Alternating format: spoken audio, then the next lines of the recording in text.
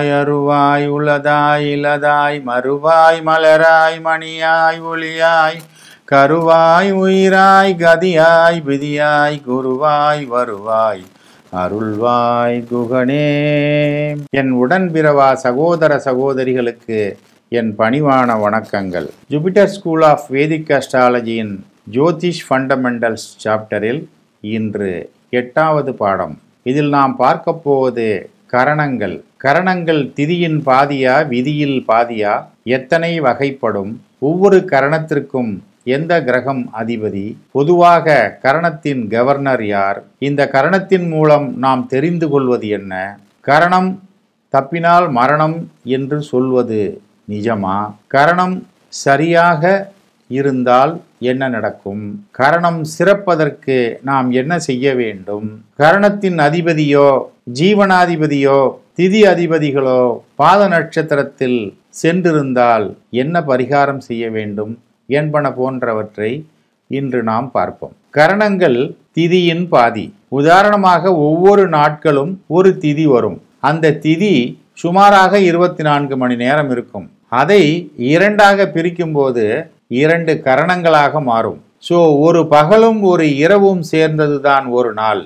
ஆக ஒரு முழு நாளைக்கு உண்டான திதி இரண்டாக பிரிக்கப்பட்டு பகலும் இரவும் போல இரண்டு கரணங்களாக பிரிக்கப்பட்டுள்ளது. கரணத்தின் கவர்னர் புதன் திதியின் கவர்னர் சுக்கரன். திதி என்பது நமது அனைத்து உறவுகளும். அனைத்து உறவுகளின் பாதிதான் இந்த கரணம். ஆக உறவுகள் சிறப்பாக இருந்தாவே நமது கரணங்கள் பாதிதான் சிறப்பாக இருக்கும். ஆனால் நமது கரணங்கள் நமது ஜீவநாடி உத்தியோகம் புருஷ லட்சணம் என்று சொல்வார்கள். ஆண்மகனாக இருந்தால் நிச்சயமாக பகல் நேரத்தில் அவன் வீட்டில் இருக்கக்கூடாது. வேலைக்கு போக வேண்டும். எந்த வேலையாக இருந்தாலும் சரி. இந்த திதியின் அதிபதி சுக்ரன் புதனுடைய வீட்டில் நீச்சமடைகிறது. புதன் சுக்கரன் உச்சமாகும் வீட்டில் நீச்சமடைகிறது. சுக்கரன் நீச்சமடையும் இடத்தில் புதன் உச்சமாகிறது.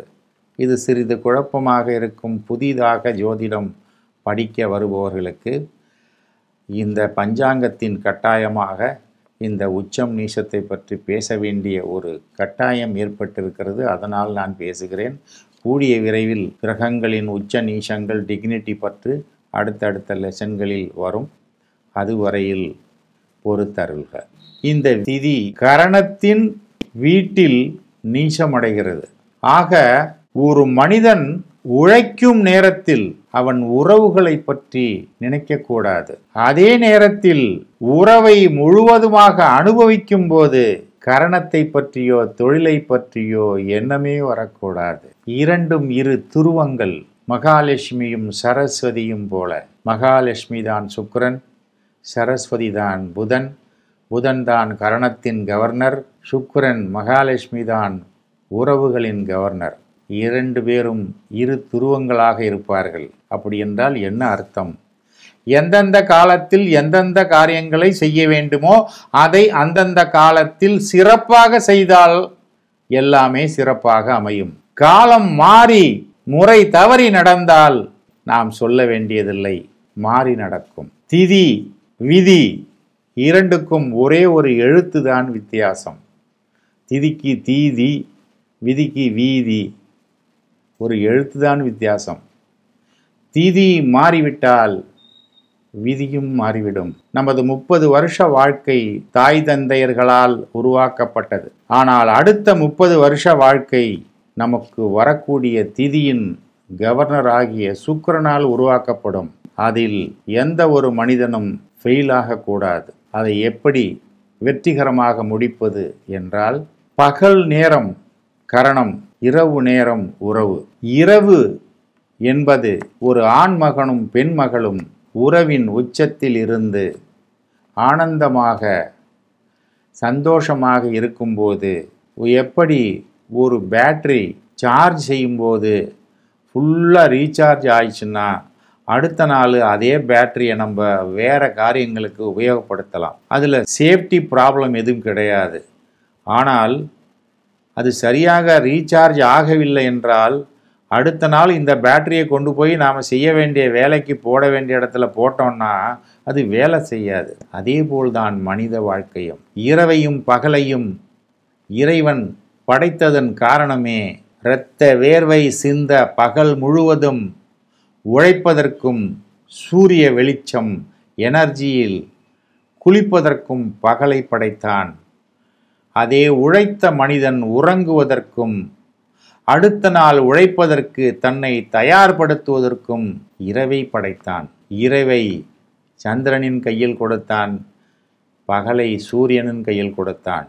தகப்பனும் தாயும். இரவில் தூங்குவது ஒரு தாயின் மடியில் தூங்குவதற்கு சமம். பகலில் உழைப்பது ஒரு தகப்பனின் கட்டுப்பாட்டில் வளரும் ஒரு குழந்தைக்கு சமம். ஆக இரவில் உறவுகள் உச்சத்தை தொடும்போது அதன் குழந்தைதான் கரணம். அடுத்த நாள் பாதி நாள் பகல் முழுவதும் தான் அந்த கரணத்தின் அதிகாரம். மாலை பொழுது வந்துவிட்டால் கரணத்தின் அதிகாரம் கிடையாது. ஆண்களுக்கு உழைப்பதற்கு மட்டும்தான் அதிகாரம். இந்த உலகத்தில் இருக்கக்கூடிய சொத்துகள் சந்தோஷம் அமைதி நிம்மதி தண்ணீர் அனைத்தும் பெண்களுக்கு தான் சொந்தம். உழைத்து உழைத்து ஓடாக போவதற்கு தான் ஆண்கள்.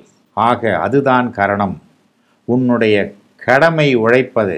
நீ உன்னுடைய கடமையை சரியாக செய்தால் வீட்டில் இருக்கும் பெண்மணி தன்னுடைய திதியின் உறவின் முக்கியத்துவத்தை உணர்ந்து புன்முறுவல் காட்டி இனிய முகம் காட்டி அனைவரையும் சந்தோஷமாக வைத்திருந்தால் அடுத்த நாள் நல்ல நாளாகவே பிறக்கும். ஒவ்வொரு நாளும் எப்பொழுது பிறக்கும் என்று காத்திருக்கும். ஆனால் தீதி உறவுகள் சங்கடத்தில் அமிழ்ந்தால் கரணம் வேலை செய்யாது. பல பேர் கஷ்டப்படும் போது நாம் பார்த்திருக்கிறோம் அவர்களின் கஷ்டம் எங்கிருந்து ஆரம்பிக்கிறது?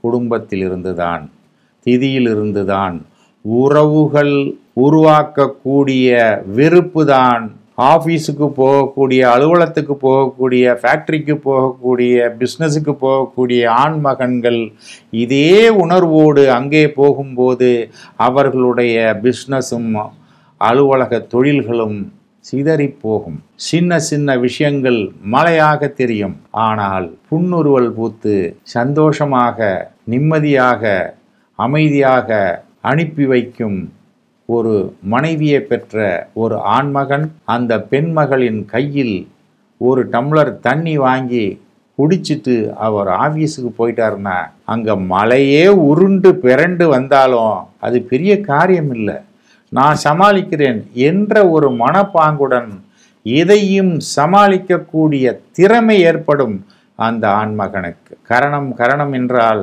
கரணம் தப்பினால் மரணம் இல்லை காரணத்தை உருவாக்கக்கூடிய உறவுகள் தப்பினால்தான் மரணத்தில் முடியும். கரோனா காலத்தில் பல மரணங்களை பார்த்திருப்பீர்கள். அதை விதியின் வசம் ஏற்பட்டது. ஆனால் விதியின் வசம் பல நிலைகளில் சரியான முறையில் உறவுகள் அமையாமல் போகும்போது கரணம் வேலை செய்யாது. ஆக உங்களுடைய கரணம் சரியாக பலனை கொடுக்க வேண்டுமென்றால் உங்களுடைய உறவுகளை நெறிப்படுத்துங்கள் சரி செய்யுங்கள். அதற்கு மூல காரணம் முதன்மையான செயல் எங்கே ஆரம்பிக்கிறது என்றால் திருமண காலத்தில். திருமண காலத்தில் திருமண பொருத்தத்தில் சரியான துணையை தேட தவறிவிட்டீர்கள் என்றால் திருமண தடை மட்டுமல்ல பல விஷயங்களை நீங்கள் தவறவிட வேண்டிய அவசியம் ஏற்படும். கவனமாக இருங்கள். அடுத்து இந்த கரணங்கள் எத்தனை வகைப்படும்? இரண்டு வகைப்படும். கரணங்கள் சரகரணங்கள் ஸ்திர கரணங்கள் என்று இரண்டு வகைப்படும். சரகரணங்கள் என்றால் என்ன? ஒரு திதியை இரண்டாக பிரிக்கும் போது இரண்டு கரணங்கள் வரும். இப்போ பிரதமையில் இரண்டு திதிகள் துதியையில் இரண்டு திதிகள் திருதியையில் இரண்டு திதிகள் சதுர்த்தியில் இரண்டு திதிகள். ஆக நான்கு திதிகளுக்கு எட்டு கரணங்கள். இது முதல் கரணம் பவ அதன் அதிபதி சூரியன். அடுத்த கரணம் பலவ அதற்கு அதிபதி சந்திரன். மூன்றாவது கரணம் கௌலவ அதற்கு அதிபதி செவ்வாய். நான்காவது கரணம் தைத்துல. அதற்கு அதிபதி புதன். ஐந்தாவது கரணம் கரிஜா.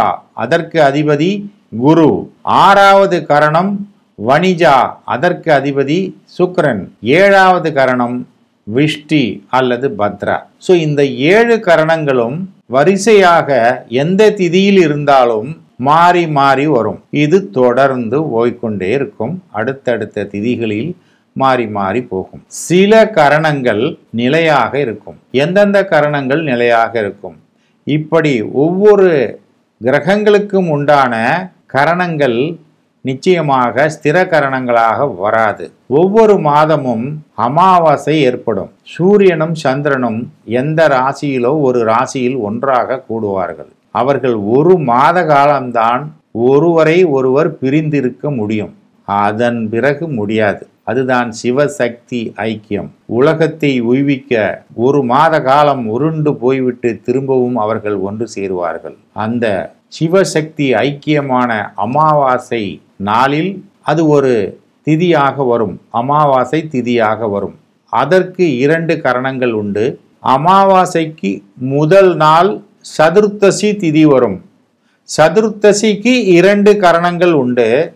அந்த சதுர்த்தசியின் கடைசி கரணம் இரண்டாவது கரணம் அமாவாசைக்கு ஜஸ்ட் முன்னாடி உள்ள கரணம் அதற்கு சகுனி என்று பெயர். அமாவாசையில் வரக்கூடிய இரண்டு கரணங்கள் முதல் கரணம் சதுஷ்பாதா என்று பெயர். அமாவாசையின் இரண்டாவது கரணம் நாகா என்று பெயர். ஆக சகுனி சதுஷ்பாதா நாகா. மூன்று கரணங்கள் ஆகிவிட்டது அடுத்தது அமாவாசை முடிந்ததும் பிரதமையில் வரக்கூடிய இரண்டு கரணங்கள் உண்டு.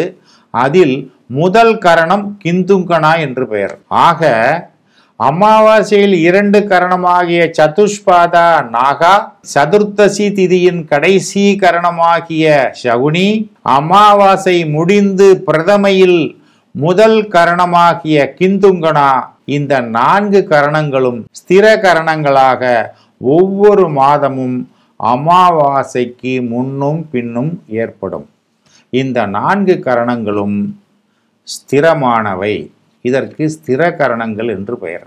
ஏனென்றால் ஒவ்வொரு மாதமும் சகுனி சதுஷ்பாதா நாகா கிந்துங்கனா எப்போதும் வந்து சேரும். அது சரகரணம் இல்லை. எந்த கிரகங்களுக்கும் ஆதிபத்தியம் கிடையாது. அப்போ இந்த கிந்துங்கனா நாகா சதுஷ்பாதா சகுனி ஆகிய நாலு கரணங்களுக்கு அதிபதிகளே கிடையாதா? நாங்கள் இந்த கரணங்களில் பிறந்தால் யாரை நம்பி வாழ்வது என்று கவலைப்பட வேண்டாம். நான் சில வகுப்புகளுக்கு முன்னே சொன்னேன். வானமண்டலத்தை நான்கு பகுதியாக பிரிக்கும் போது ஒரு ஒரு பகுதியும் தொண்ணூறு டிகிரியாக வரும். அந்த தொண்ணூறு டிகிரியும் ஒரு ஒரு கேந்திரங்கள் என்று பெயர். அந்த கேந்திரங்கள் முதல் பாவம் நான்காம் பாவம் ஏழாம் பாவம் பத்தாம் பாவம். இந்த நான்கும் நான்கு கேந்திரங்களாக வரும். இந்த நான்கு கேந்திர அதிபதிகளும் அந்த நான்கு ஸ்திர கரணங்களுக்கு அதிபதிகளாக வருவார்கள். ஒரு வீட்டுக்கு எப்படி நான்கு பில்லர்கள் தேவையோ அதே போல ஒரு மனித வாழ்க்கைக்கு நான்கு கேந்திரங்கள் தேவை. மனிதன் செய்யக்கூடிய முயற்சி. அந்த முயற்சியின் அஸ்திவாரங்கள் தான் அமாவாசைக்கு பக்கத்தில் வரக்கூடிய ஸ்திர கரணங்களாகிய நான்கு கரணங்கள் அந்த நான்கு கரணங்களும் அவர்கள் பிறந்த லக்னத்தின் நான்கு கேந்திரங்களாக வரும். சோ இந்த கேந்திரங்கள் சில சிரமத்திற்கு உண்டானால் இவர்களுடைய முயற்சி தடைப்படும் ஆக கரணம் என்பது இவர்களின் செய்கை சீட் ஃபார் ஆக்ஷன் இவர்களுடைய செயல் திறமை இதற்கு முதல் அஸ்திவாரம் அமாவாசையை சார்ந்திருக்கக்கூடிய நான்கு ஸ்திரகரணங்கள் சரகரணங்கள் மாறி மாறி வரும்போது அமாவாசையின் போது சந்திரனும் சூரியனும் ஒரே பாகையில் வரும்போது அமாவாசை.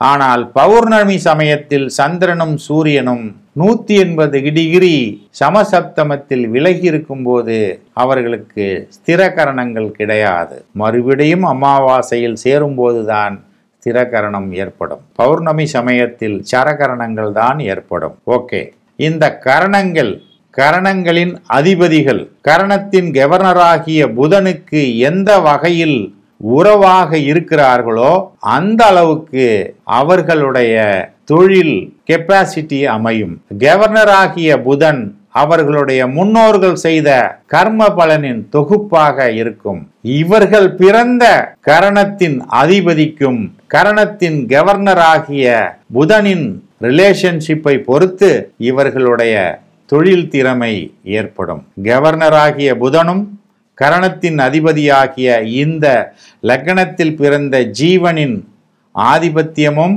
யாரு கரணாதிபதியாக வருகிறார்களோ அவர்களுடைய பொசிஷனும் டிகினிட்டியும் பொறுத்து அவர்களுடைய வாழ்க்கை பொருளாதாரம் அமையும். இத்துடன் பத்தாவது பாவ அதிபதி தசம கேந்திர அதிபதி இந்த தொழில் சம்பந்தப்பட்ட விஷயங்களில் அதிமுக்கியமான ஒரு பொறுப்பு வகிக்கிறார். அவரும் இந்த கரணத்தின் கவர்னராகிய புதனும் இவர்கள் பிறந்த கரணத்தின் அதிபதியாகிய கிரகமும் ஆகிய இந்த மூன்று பேரும் அவர்கள் பிறந்த கிழமைக்கு எந்தெந்த நட்சத்திரங்கள் பாத நட்சத்திரங்களாக வருகிறதோ அதில் போகக்கூடாது.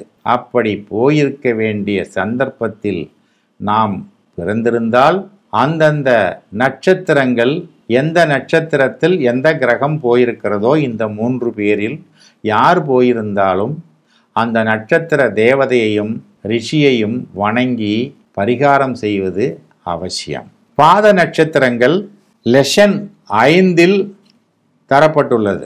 நட்சத்திர தேவதை ரிஷி சம்பந்தப்பட்ட மந்திரங்கள் லெசன் நான்கில் தரப்பட்டுள்ளது. அதை இரண்டு பாடங்களையும் ரெஃபர் பண்ணி உங்களுடைய கரணத்தின் அதிமுக்கியமான கிரகங்கள் கரணத்தின் கவர்னர் கரணத்தின் அதிபதி பத்தாம் பாவ அதிபதி இவர்களில் யார் பாத நட்சத்திரத்தில் சென்றிருந்தாலும் அதற்கு உண்டான நட்சத்திர பரிகாரம் செய்து கொள்வது மிக மிக அவசியம். ஆக கரணம் என்பது உங்களுடைய செய்கை. உங்களுடைய செய்கை சிறக்க வேண்டுமென்றால் உங்களுடைய உறவு சிறந்திருக்க வேண்டும். உறவை மீறிய எந்த தொழிலும் கிடையாது. கரணம் உறவின் குழந்தைதான் ஒரு பகுதிதான். ஆக உங்களின் வாழ்க்கை சிறக்க சிறப்பான உறவை ஏற்படுத்தி அதன் மூலம் உங்களுடைய தொழிலை பெருக்கி வளமாக வாழுங்கள். மீண்டும் அடுத்த பாடத்துடன் உங்களை சந்திக்கும் வரை உங்களிடமிருந்து விடைபெறுவது உங்களின் இணைபிரியா சகோதரன் கே எஸ் சோமசுந்தரம். நன்றி வணக்கம்.